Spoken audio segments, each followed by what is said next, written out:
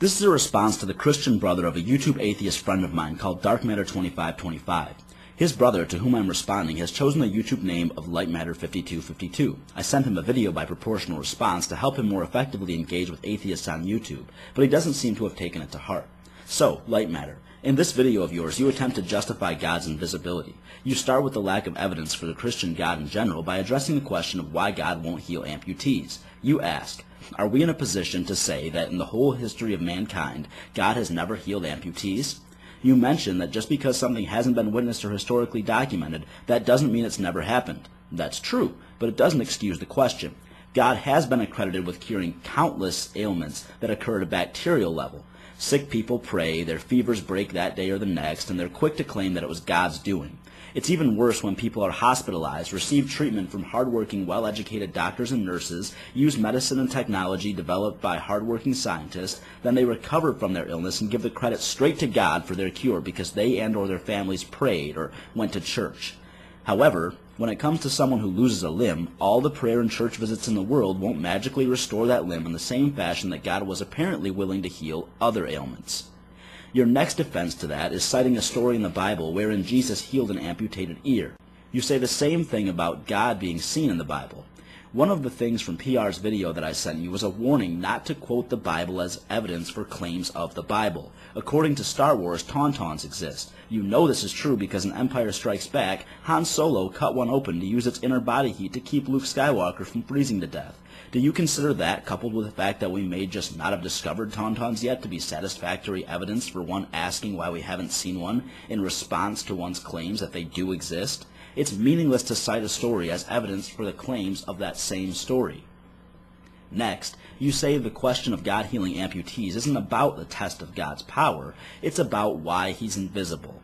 It's an understatement to suggest that Christianity's incredulity ends at God's invisibility. If your God does exist, he's not only invisible, he's also inaudible, intangible, and for all we know, he can't be smelled or tasted either.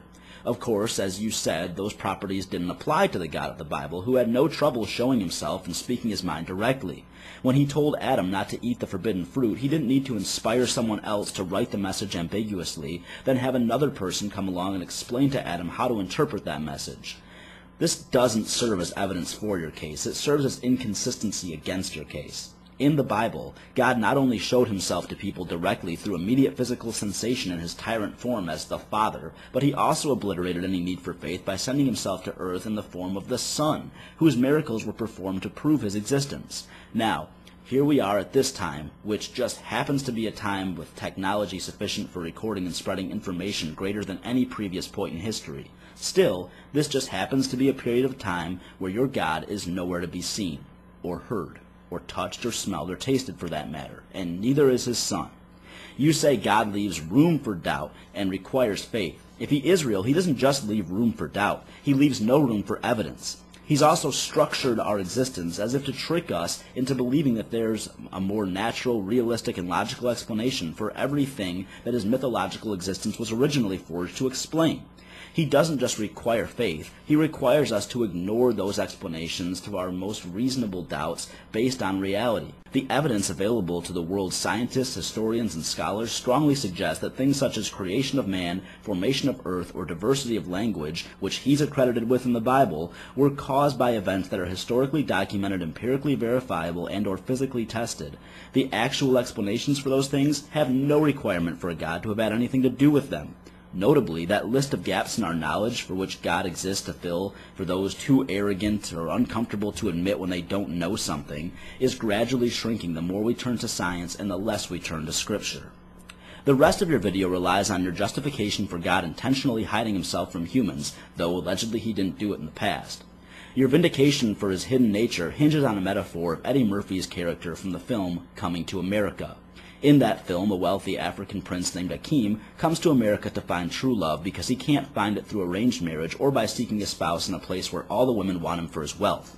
You claim that likewise God remains hidden because he wants people to be genuinely in love with him without using his almighty force to make us love him. You said that you think this metaphor perfectly illustrates why God chooses to remain invisible, which is sad because it's such a flawed metaphor. Akeem isn't able to force women to love him in Africa. Rather, they're attracted to what his money and power can bring them, so they want to marry him. It's not that God is relinquishing his power to potentially force us to love him by not appearing to exist at all, and the Bible you cite as evidence for him is loaded with claims and praises of his great power. Akeem wants to be loved for who he is, not for what he has. If your God is real, he isn't stripping himself of possessions or powers so his creation will love him for who he really is. He's pretending not to exist to see if they're gullible enough to believe in him, love him, and worship him. Without evidence for his existence, spare this book. If that's what was happening in Murphy's movie, it wouldn't be called Coming to America. It would be called having people write a book about you and your son a few decades after he dies, then check back a couple millennia later to see how many people love you despite your evidentially absolute absence in America. God can't do the same thing Akeem did because having powers is part of what makes God who he is to begin with. God's choice to not force us to love him is so divorced from God pretending that he doesn't exist that it's remarkable I have to explain it to you. You specifically mentioned that as Jesus, God came to man in a form that allowed humans to love or reject him for who he was. There's a lot wrong with that too, though. According to Christianity, Jesus still performed divine miracles to prove that he was the Son of God. You're suggesting this omniscient God came to humanity in the form of man just to be loved for his personality, while healing the sick by just touching them, walking on water, magically multiplying food, and turning water into wine. That would be like Akeem coming to America to find a woman who wouldn't be interested in his wealth, while dressed in a tuxedo, riding a limo, and staying at a five-star resort. The biggest problem is the extremely low number of people Jesus would have been personally exposed to compared to the number of people who've existed on this planet. Was this opportunity to love God for his personality, not just his power, limited to only the people who one man met while walking on foot for one lifetime of about 33 years? How is that fair to the rest of humankind who doesn't get that opportunity to meet God in human form before they are eternally punished or rewarded for how they respond to the claim of his existence? You expect us to believe that God remains completely undetectable throughout all recorded human history outside of holy books responsible for claiming he exists in the first place and non-falsifiable claims of personal experience, just so one set of people during one period of time could have the opportunity to love him even without his power, despite the fact that during that short span of time he performed divine miracles? Yeah, I'm not buying it.